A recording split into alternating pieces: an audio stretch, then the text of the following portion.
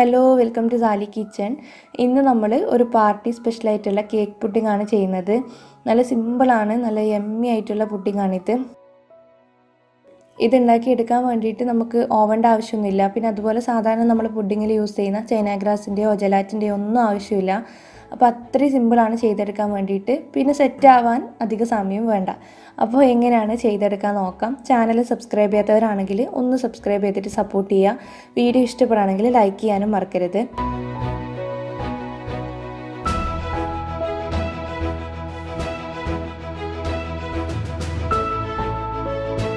അപ്പോൾ ആദ്യം ഇതിന് വേണ്ടിയിട്ടുള്ള സ്പോഞ്ച് കേക്ക് റെഡിയാക്കി എടുക്കണം. സ്പോഞ്ച് കേക്കിന്റെ ബാറ്റർ ഞാൻ മിക്സിയിലാണ് ചെയ്തെടുക്കുന്നത്. ബീറ്ററിലല്ല ബീറ്ററിൽ യൂസ് ചെയ്തിട്ടാണെങ്കിൽ നിങ്ങൾക്ക് ബീറ്റർ യൂസ് ചെയ്തിട്ട് ചെയ്യാം. ലിങ്ക് ഡിസ്ക്രിപ്ഷൻ ബോക്സ് കൊടുക്കാം കേട്ടോ.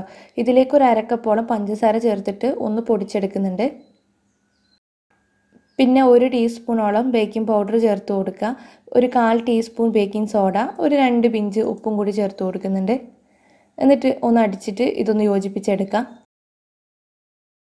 ഇനി ഒരു രണ്ട് ടേബിൾ സ്പൂണോളം ഓയിലാണ് ചേർത്ത് കൊടുക്കുന്നത്. പിന്നെ അതുപോലെ തന്നെ രണ്ട് മുട്ടയും കൂടി ചേർത്ത് കൊടുക്കുന്നുണ്ട്. അപ്പോൾ മുട്ട നന്നായിട്ട് ബീറ്റ് ചെയ്തെടുക്കണം. നല്ലോണം പതപ്പിച്ചെടുക്കണം. നമ്മൾ ബീറ്റർ യൂസ് ചെയ്യുന്നില്ല. മിക്സി വെച്ചിട്ടാണ് ചെയ്യുന്നത്. മിക്സി അടച്ചു വെച്ചിട്ട് ഒരു അഞ്ച് പത്ത് മിനിറ്റ് നന്നായിട്ട് അടിച്ചെടുക്കണം. മുട്ട നന്നായിട്ട് പതഞ്ഞ് വരണം.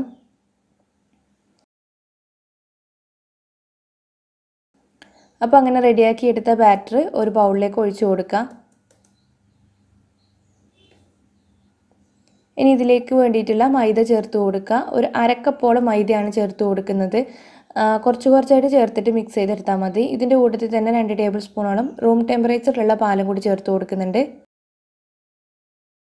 അപ്പോൾ നമ്മുടെ ബാറ്റർ ഇവിടെ നന്നായിട്ട് മിക്സായി റെഡി ആയിട്ടുണ്ട്. ഇനി നമുക്കിതൊരു സോസ് പാനിലേക്ക് ഒഴിച്ചു കൊടുക്കണം. സോസ് പാനിൽ താഴ്ഭാഗത്ത് കുറച്ച് ഓയിൽ തടവി കൊടുത്തിട്ടുണ്ട്. ആ ബാറ്റർ അങ്ങ് ഒഴിച്ച് കൊടുത്തതിന് ശേഷം താഴോട്ടേക്ക് രണ്ട് മൂന്ന് തവണ ഒന്ന് തട്ടി കൊടുക്കുക എയർ ബബിൾസും ഒക്കെ പോയി കിട്ടാൻ വേണ്ടിയിട്ട്. എന്നിട്ട് പിന്നെ ഇത് ബേക്ക് ചെയ്യാൻ വെക്കുകയാണ് അപ്പോൾ അടച്ച് വെച്ചിട്ട് ബേക്ക് ചെയ്യാൻ വെച്ചിട്ടുണ്ട്. പെട്ടെന്ന് റെഡിയാവും ഒരു ഇരുപത്തഞ്ച് മിനിറ്റ് ഒക്കെ മതിയാവും. അപ്പോൾ താഴ്ഭാഗത്ത് ഒരു ചെറിയൊരു പഴയ ലിഡ് വെച്ച് കൊടുത്തിട്ടുണ്ട്. അതിന്റെ മുകളിലാണ് സോസ് പാൻ വെച്ചിട്ടുള്ളത്. ലോ ഫ്ലെയിമിൽ വെച്ചിട്ട് ഇരുപത്തഞ്ച് മിനിറ്റ് ബേക്ക് ചെയ്തെടുക്കാം.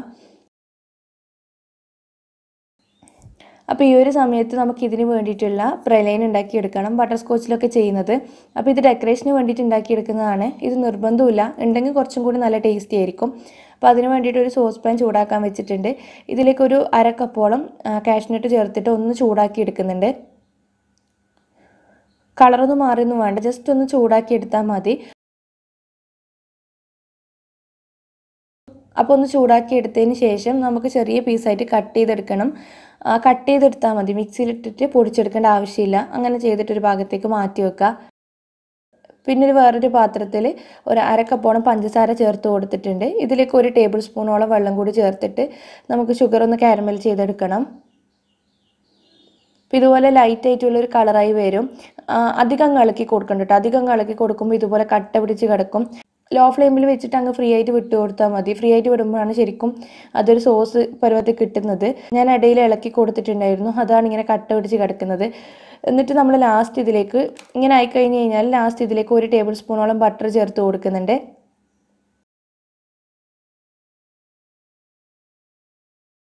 ബട്ടർ ഒന്ന് മെൽറ്റായി കഴിഞ്ഞ് കഴിഞ്ഞാൽ തീ നന്നായിട്ട് കുറച്ച് വെച്ചിട്ടാണ് ഇതൊക്കെ ചെയ്യുന്നത്. നമ്മൾ നേരത്തെ വറുത്ത് പൊടിക്കാൻ പറഞ്ഞില്ല കാഷ്നട്ട് ചേർത്ത് കൊടുക്കാം. എന്നിട്ട് നന്നായിട്ട് മിക്സ് ചെയ്തെടുക്കുക. ഇത്രയേ ഉള്ളൂ. ഫ്ലെയിം ഓഫ് ചെയ്തിട്ട് പെട്ടെന്ന് തന്നെ അധികം പുറത്ത് വെച്ച് റെസ്റ്റ് ചെയ്യരുത്. പെട്ടെന്ന് തന്നെ ഒരു ബട്ടർ പേപ്പറിലേക്കോ അല്ലെങ്കിൽ ഒരു പ്ലേറ്റിലേക്കോ മാറ്റുക എന്നിട്ട് ഇതൊന്ന് നിരപ്പാക്കി എടുക്കണം. എന്നിട്ട് ഇതുപോലെ ഇതൊരു ഭാഗത്തേക്ക് മാറ്റി വെക്കുക. കംപ്ലീറ്റ് ഒന്ന് തണുത്ത് കിട്ടാൻ വേണ്ടിയിട്ട്. അപ്പോൾ ഈ ഒരു സമയത്ത് നമ്മുടെ കേക്ക് റെഡി ആയിട്ടുണ്ട്. നന്നായിട്ട് പൊങ്ങി വന്നിട്ടുണ്ട്. ഒരു ടൂത്ത് പിക്ക് എന്തെങ്കിലും ഇൻസേർട്ട് ചെയ്ത് നോക്കുക. ഉൾഭാഗം എന്തിനോ നോക്കാൻ വേണ്ടിയിട്ട്. റെഡി ആയി കഴിഞ്ഞ് കഴിഞ്ഞാൽ ഒന്ന് ചൂടാറാൻ വേണ്ടി വെക്കുക. ചൂടാറിക്കഴിഞ്ഞതിന് ശേഷം നമ്മളിത് കട്ട് ചെയ്തെടുക്കുന്നുണ്ട്. അപ്പോൾ കട്ട് ചെയ്തെടുക്കുന്നതിന് മുന്നായിട്ട് ഇതിന്റെ താഴ്ഭാഗം ഒന്ന് കട്ട് ചെയ്തിട്ട് ലെവലാക്കി എടുക്കുന്നുണ്ട്. താഴ്ഭാഗത്ത് മൊരിഞ്ഞിട്ടൊന്നുമില്ല. നല്ല നീറ്റായിട്ട് കിട്ടിയില്ലെങ്കിൽ അങ്ങനെ ചെയ്യണ്ട.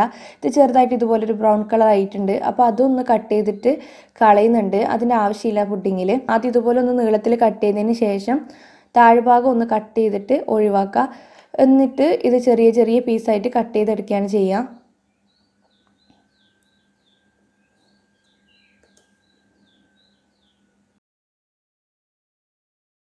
അപ്പോൾ എങ്ങനെ കട്ട് ചെയ്തെന്ന് വെച്ചാൽ ഇത് ഇതുപോലെ സ്ക്വയർ ആയിട്ട് അങ്ങ് കട്ട് ചെയ്തെടുത്താൽ മതി.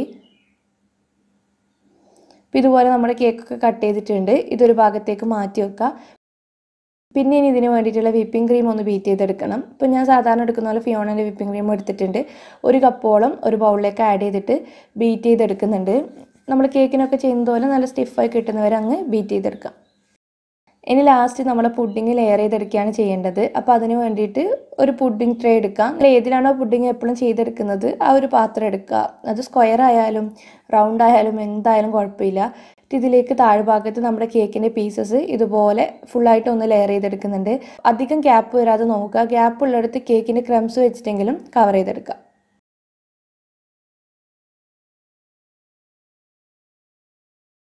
നമ്മൾ ഈ കേക്ക് ഉണ്ടാക്കി എടുക്കുന്ന സമയത്ത് വാനില എസൻസ് ചേർത്തിട്ടില്ല.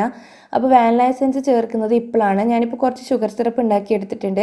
അപ്പോൾ അതിൽ കുറച്ച് വാനില എസൻസ് കൂടി ചേർത്ത് കൊടുത്തിട്ടുണ്ട് കേട്ടോ ഒരു രണ്ട് ടേബിൾ സ്പൂണോളം ഷുഗർ ഒരു അരക്കപ്പ് വെള്ളത്തിൽ നന്നായിട്ട് മെൽറ്റാക്കി എടുത്തിട്ടുണ്ട്. അതിലേക്ക് ഒരു ഒന്നര ടീസ്പൂണോളം വാനില എസൻസും ചേർത്തിട്ടുണ്ട്.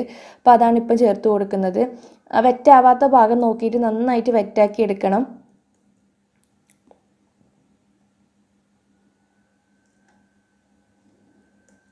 പിന്നെ ഇതിന്റെ മുകളിലേക്ക് നമ്മൾ ബീറ്റ് ചെയ്ത് വെച്ച് വിപ്പിംഗ് ക്രീം ഒഴിച്ചിട്ട് ലെവൽ ചെയ്തെടുക്കുക. നല്ല ലെവലാക്കി എടുക്കുക. നല്ല ലെവലാക്കി എടുക്കുമ്പോഴാണ് പുഡിങ് ശരിക്കും ആ ഒരു ഷേപ്പ് കിട്ടുക. അല്ലെങ്കിൽ പിന്നെ ഒരു ഭാഗത്തേക്ക് ചെരിഞ്ഞ് അങ്ങനെ കിടക്കും. കറക്റ്റ് ലെവലാക്കി എടുക്കുക. കുറച്ച് സമയം എടുത്തിട്ട് അതിൽ ചെയ്തെടുക്കുക കേട്ടോ. അപ്പോൾ ഇങ്ങനെ ഒന്ന് ചെയ്തെടുത്തിട്ടുണ്ട്. പിന്നെ നമ്മളിത് ഡെക്കറേറ്റ് ചെയ്യാൻ വേണ്ടിയിട്ട് ഉണ്ടാക്കിയെടുത്തിട്ടില്ല പ്രലേന് അപ്പോൾ അതൊന്ന് മിക്സിയുടെ ജാറിലിട്ടിട്ട് ജസ്റ്റ് ഒന്ന് ക്രഷ് ചെയ്തെടുത്താൽ മതി. നല്ല ഫൈനായിട്ട് പൊടിയേണ്ട ജസ്റ്റ് ഒന്ന് ക്രഷ് ചെയ്തെടുത്തതിന് ശേഷം നിങ്ങൾ ഐഡിയക്ക് അനുസരിച്ചിട്ട് ഡെക്കറേറ്റ് ചെയ്യാം. അപ്പോൾ നമ്മൾ പുഡിങ്ങിന്റെ ഇടയിൽ വേണമെങ്കിൽ നിങ്ങൾക്ക് പ്രലേന്റെ പീസസ് ഇട്ട് കൊടുക്കാം. ഞാനിപ്പോൾ ഡെക്കറേഷന് വേണ്ടി മാത്രമേ ഇത് എടുക്കുന്നുള്ളൂ. ഡെക്കറേഷനൊന്നും ഞാൻ അങ്ങനെ ഡീറ്റെയിൽ ആയിട്ട് പറയുന്നില്ല. ഓരോരുത്തർക്കും ഓരോ ഐഡിയ ഉണ്ടാവും. അപ്പോൾ അതിനനുസരിച്ചിട്ട് ചെയ്തെടുക്കാം. അപ്പോൾ ഇത്രയേ ഉള്ളൂ പുഡിങ്. ഇങ്ങനെ തന്നെ സെറ്റ് ചെയ്തെടുത്തിട്ട് കട്ട് ചെയ്തെടുത്താലൊക്കെ മതി. പക്ഷെ ഞാൻ കുറച്ചും കൂടി ഒന്ന് മഞ്ചാക്കി എടുക്കാൻ വേണ്ടിയിട്ട് പൈപ്പിംഗ് ബാഗിലേക്ക് കുറച്ച് വിപ്പിംഗ് ക്രീം ഒഴിച്ചിട്ട് ജസ്റ്റ് ഇതുപോലെ ഒന്ന് പൈപ്പ് ചെയ്ത് കൊടുക്കുന്നുണ്ട്. അപ്പോൾ ഇതുപോലെ ചെയ്തെടുത്തിട്ടുണ്ട്. ഇനി ഇത് ഫ്രിഡ്ജിൽ വെക്കുക ഫ്രീസറിലല്ല കേട്ടോ ഫ്രിഡ്ജിലാണ് വെക്കേണ്ടത്. ഒരു രണ്ട് മണിക്കൂറൊക്കെ മതി. നമ്മുടെ പുഡിങ് നല്ല സെറ്റായി കിട്ടും. ഒരു മണിക്കൂറൊക്കെ മതി. കുറച്ചും കൂടി നല്ല പെർഫെക്റ്റായി കിട്ടാൻ വേണ്ടിയിട്ട് രണ്ട് മണിക്കൂറൊക്കെ വെച്ചോളൂ. നന്നായിട്ട് കിട്ടും. ചൈന ഗ്രാസും ജലാറ്റിനൊന്നും ഇല്ലല്ലോ. അപ്പോൾ അധിക സമയത്തിനൊന്നും ആവശ്യമില്ല.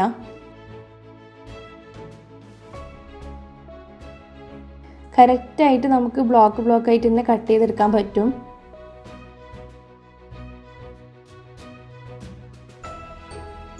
എമ്മി ആയിട്ടുള്ള പുഡിങ് കേട്ടോ. നല്ല ടേസ്റ്റി ആയിട്ടുള്ള പുഡിങ്ങാണ് കേക്ക് പുഡിങ് അപ്പോൾ ഇതുവരെ ചെയ്ത് നോക്കിയിട്ടില്ല എന്നുണ്ടെങ്കിൽ ഒന്ന് ചെയ്ത് നോക്കാം. പിന്നെ ഷുഗർ സിറപ്പ് ഉണ്ടാക്കിയെടുക്കുന്ന സമയത്ത് വാനില എസൻസ് ചേർത്തിട്ടില്ലെങ്കിൽ സ്പഞ്ച് കേക്കിലെങ്കിലും ചേർക്കണം കേട്ടോ.